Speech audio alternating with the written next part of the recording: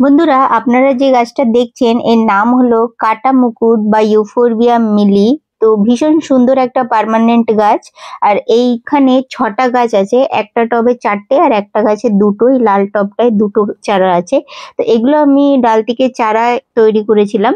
তার video already share করা আছে চ্যানেলে আই বাটনেও লিংক দিয়ে দিচ্ছি। আপনারা যদি এর চারা তৈরি করতে চাইছেন, তো অবশ্যই করে নিতে পারবেন। ওই ভিডিও দেখে যদি বিগনার্স থাকেন, তো দেখুন প্রত্যেকটা যে চারা করেছিলাম তাতে কিন্তু খুব সুন্দরভাবে ফুলও এসে গেছে। এখানে ছটা চারা আছে। মানে আমার একটা যে মাদার প্লান্ট ছিল, যে গাছ থেকে আমি ডাল কেটেছিলাম, সেই গাছটা অনেকটা টবের থেকে বড় হয়ে গেছিল। তো বারবার ঝড় আসলেই পড়ে যাচ্ছিল বা জোরে হাওয়া দিলেও পড়ে যাচ্ছিল।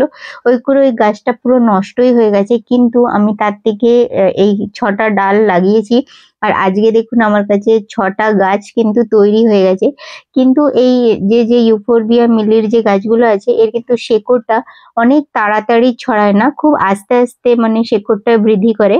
তো অন্তত আড়াই মাসের বেশি টাইমিংটা হয়ে গেছে। তো এখন আমি এই গাছ কিন্তু এখনও পাঁচ মাস, ছ মাস পর্যন্ত এই টবে মানে রাখা যাবে।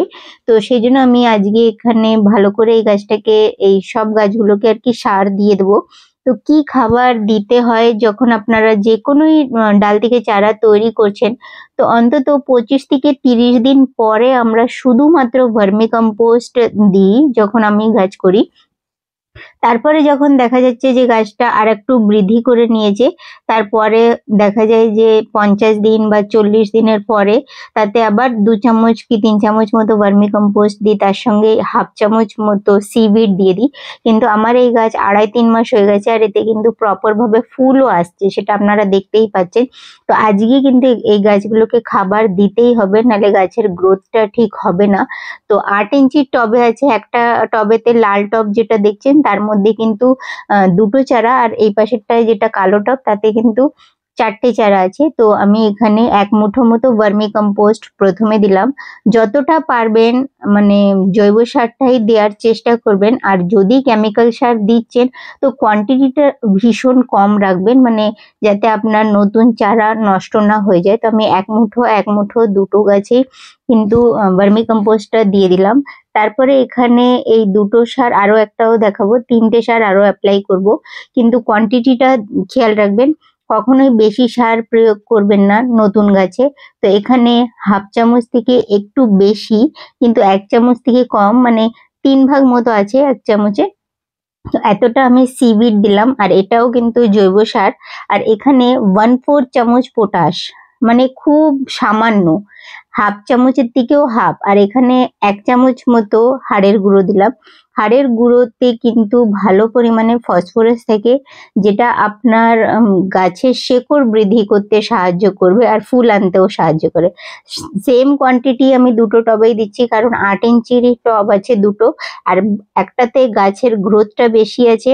মোটা মোটা ডাল লাগিয়ে দিয়েছিলাম, এটাতে, লালটাতে, আর এতে ছোট ছোট ডাল লাগানো ছিল।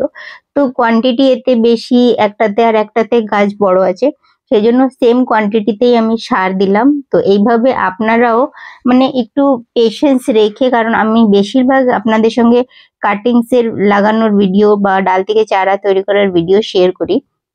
আর অনেক ডাল থেকে চারা তৈরি করা আপনাদের সঙ্গে দেখিয়েছি।